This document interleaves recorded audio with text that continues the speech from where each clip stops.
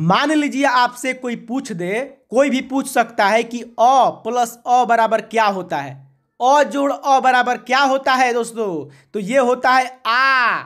अब देखिए, ये पहले सवाल से इसका कनेक्शन है कैसे? ये क्या हो गया? ये हो गया हस्व स्वर जिसको बोलने में, जिसको बोलने में कम समय लगता है, उसको हस्व स्वर बोलते हैं। और जिसको बोलने में हस्व से थोड़ा ज़्यादा समय लगता है, उसको दीर्घ स्वर बोलते हैं। तो स्वर होते हैं तीन प्रकार के। ऑप्शन नंबर सी यहाँ पे राइट हो जाएगा दोस्तों। एक होता है हस्व स्वर, एक होता है दीर्घ स्वर, एक होता है प्लूत स्वर। प्लूत मतलब बहुत ज़्यादा समय लगता है बोलने में, जैसे कि ओम हो गया। ओम, कितना लंबा समय लग रहा है? तो ये प्लूत स्वर हो गया। और हस्व किसको कहते हैं? जैसे कि एकदम कम समय। अ हो गया, ई हो गया, उ हो गया। और इससे थोड़ा सा ज़्यादा लगेगा समय आ। दीर्घई दुर्घऊ। तो ये आपका हो गया ऑप्शन नंबर सी स्वर तीन प्रकार के होते हैं, हस्व, दीर्घ और प्लूत।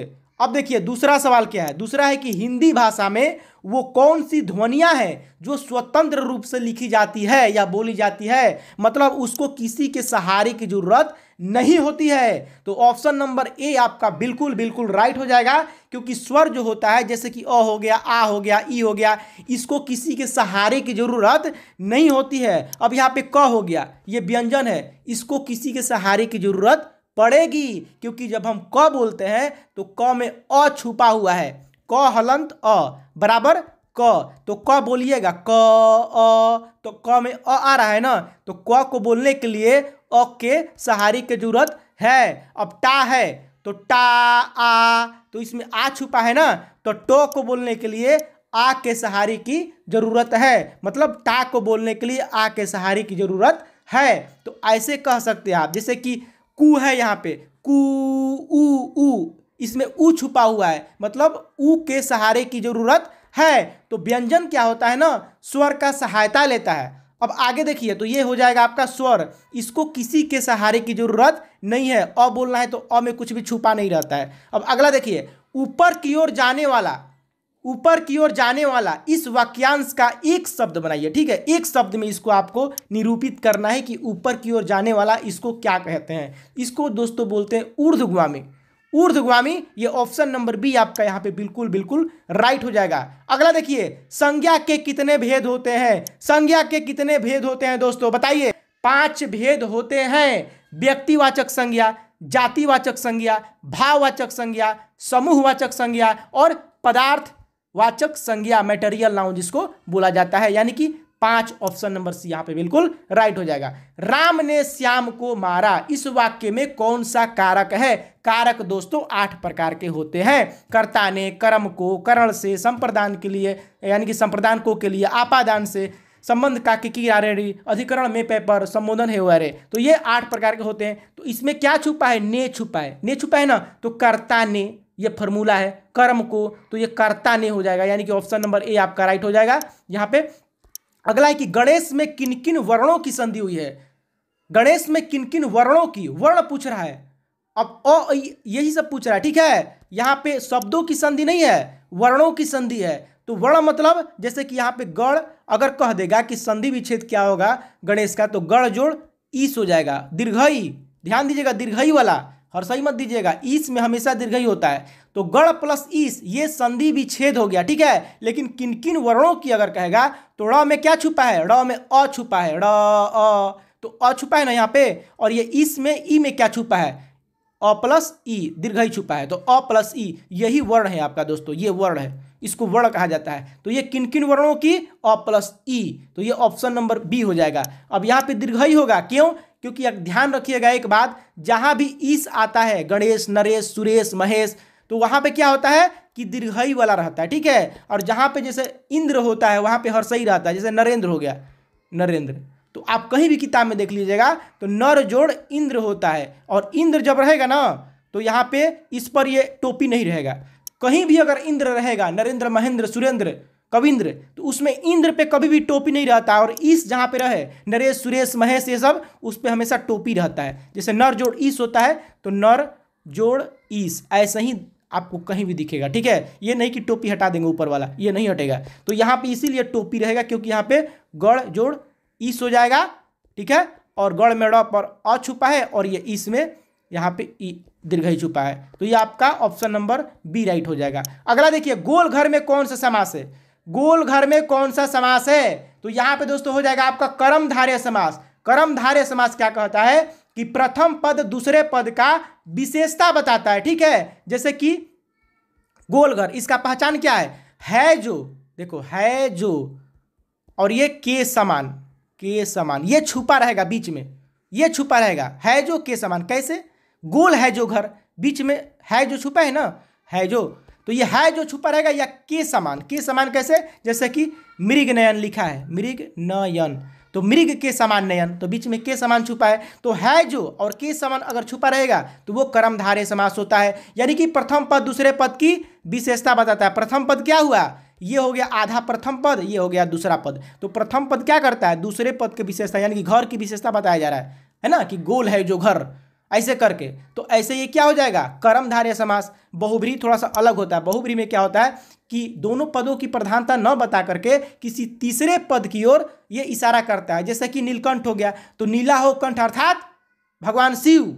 ऐसे करके। और इसमें ज़्यादातर भगवान का नाम ही होता है। ज़्यादातर देखिएगा, लंबोदर, गजानन, ये सब रहेगा। द्विगु में क्या होता है? संख्या पूर्वे द्विगु। मतलब त्रिभुज, त्रिकोण, ये सब रहेगा। द्वंद्व समास क्या होता है? माता पिता माता और ये पिता, बीच में माइनस का चिन्ह रहेगा, ठीक है?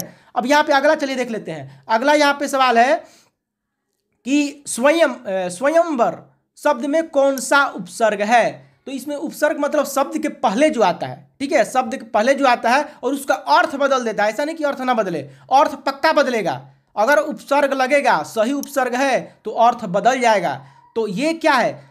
स्वयं इसमें आपका ऑप्शन नंबर ए सही हो जाएगा, यानी कि स्वयं होगा इसमें उपसर्ग। जैसे कि आपको यहाँ पे लिखा है मान लो हार लिखा है, ठीक है? तो हार में प्रो लगा देंगे तो इसका अर्थ बिल्कुल बदल गया। प्रहार, किसी भी प्रहार करना।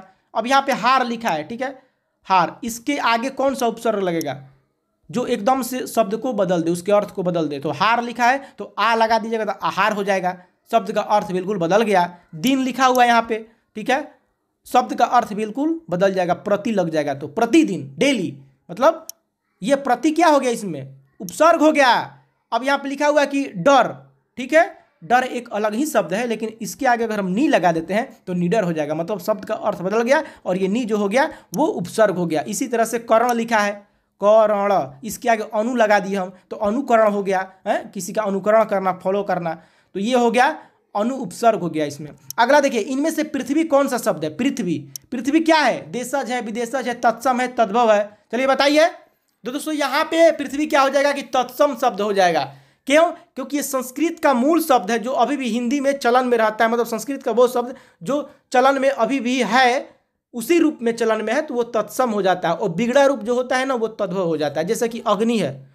अग्नि जो है, वो तत्सम शब्द है। लेकिन इसी का बिगड़ करके आग हो गया तो ये तद्भव हो गया। और देश शब्द मतलब जो देश में पता नहीं चलता है कि उसका उत्पत्ति क्या है, और देश में मतलब वो यूज़ होता है, हमारे देश में यूज़ जैसे लोटा लिखा है। अब लोटा का उत्पत्ति पता ही नहीं है मतलब संस्कृत में तो ऐसा शब्द है नहीं।